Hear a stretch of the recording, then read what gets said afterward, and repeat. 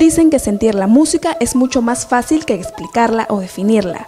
La música es el arte más directo que entra por el oído y va al corazón, ese primor al que recurrimos para combatir la tristeza con sus melodías, esa inagotable fuente de inspiración, remedio de los males, ese divino lugar en el que Sergio Cuadros ha encontrado la libertad y la armonía. Pero cuando tú quieres hacer una melodía tan lenta de solo tres notas o dos notas o cinco notas, entonces te das cuenta que ahí tienes que ponerle el sonido, el sentimiento. Y eso no te enseña realmente ni una academia, ni un instituto, sino eso te nace del corazón. Checho, como lo llaman sus amigos, conoció su primer amor a los siete años y supo que le cambiaría la vida. Fue en la clase de música, tímido aún, cogió aquel instrumento que se convertiría en su más grande pasión, la quena. La música ya estaba dentro de él. A los siete años eh, tocaba flauta dulce y estaba aprendiendo a tocar y yo como era tan travieso rompí la flauta y se rompió la flauta dulce y yo ya no quería ir a la banda por temor a que me hagan una represalia por haber roto la flauta.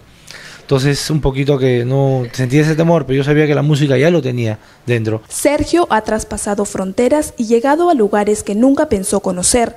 Ha compartido escenario con músicos reconocidos y de trayectoria amplia a nivel nacional e internacional.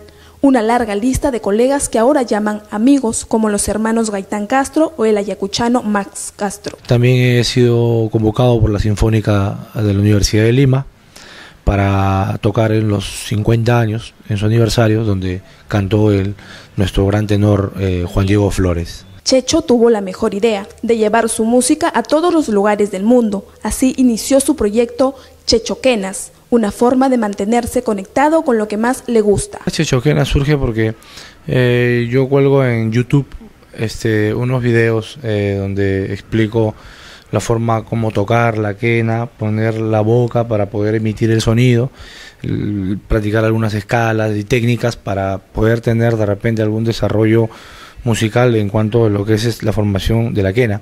Checho trabaja en su última producción musical denominada Chechoriños Brasilero Andino, una combinación de lo nuestro y la samba, es así que Sergio seguirá buscando fusionar más géneros e instrumentos y hacer de su música el idioma universal al ritmo de una quena.